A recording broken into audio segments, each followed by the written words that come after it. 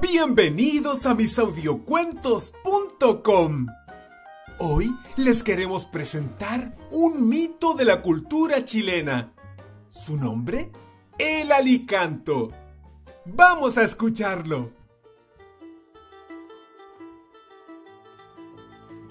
Esta es la historia de Pedro Pérez, un niño de 8 años que vive en el norte de Chile, en un sector desértico de la región de Atacama. Desde que era pequeño, su padre siempre le ha contado una historia que no deja de maravillarlo. Le habla de un ave con alas de oro, una cabeza más brillante que el mismo sol y de destellos luminosos que deja por donde pasa. Vive en los yacimientos de oro y plata de la zona.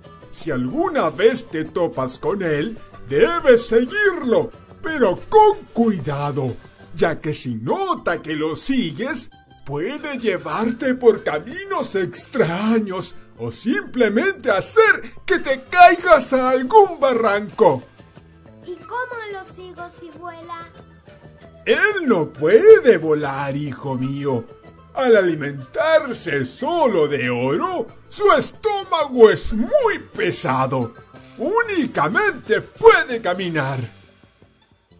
Pedro siempre contaba esa historia a sus amigos, pero ellos solo reían pensando que estaba un poco loco.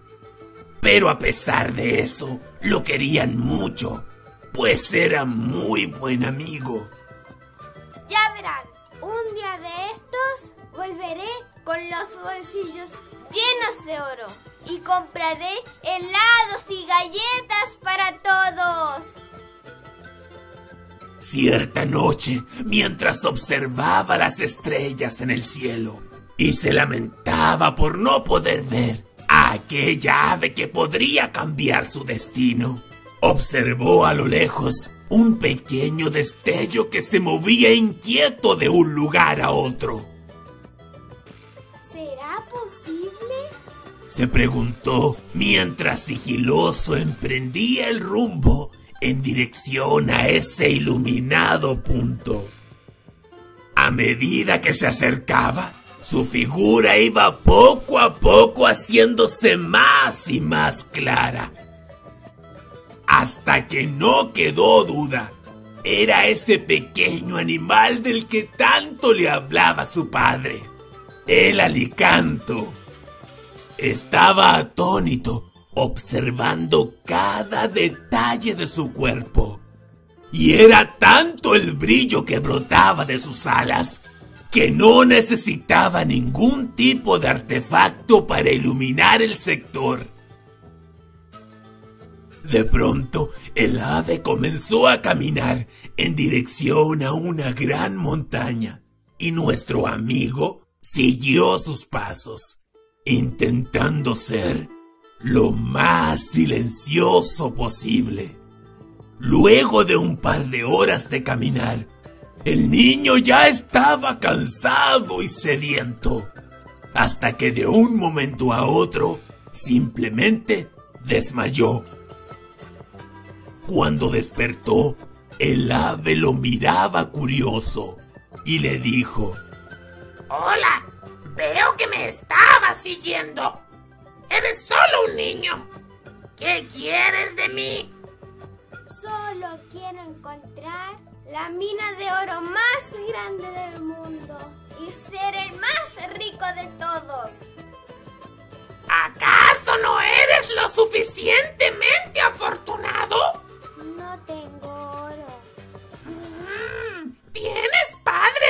te aman? Sí, ¿Y tienes amigos? sí tengo amigos.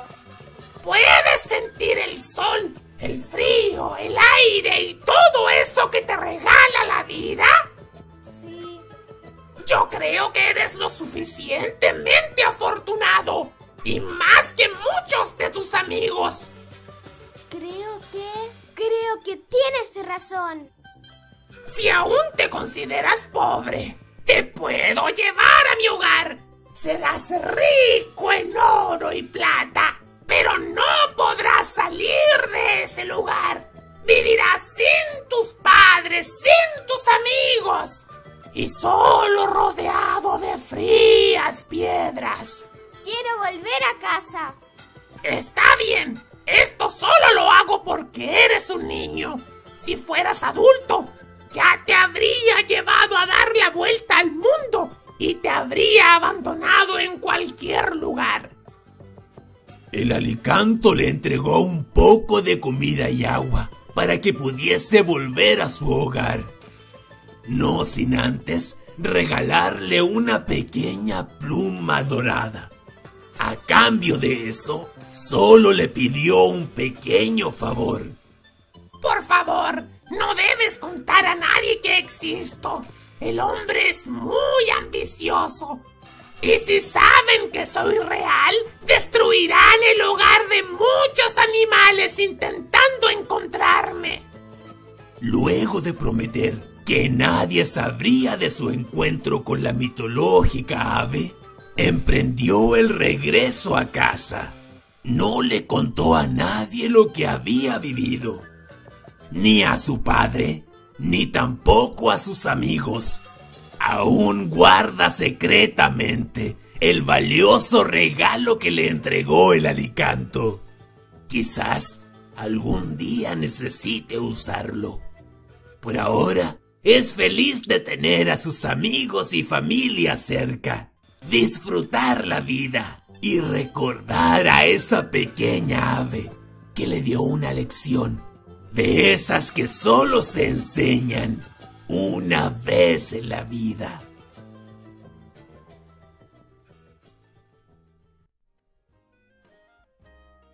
Y volando como un mosquito, hemos terminado este mito. Hola, si te gustó este mito, no olvides compartirlo. Encuentra más mitos, leyendas y cuentos en www.misaudiocuentos.com. Te espero en la siguiente historia.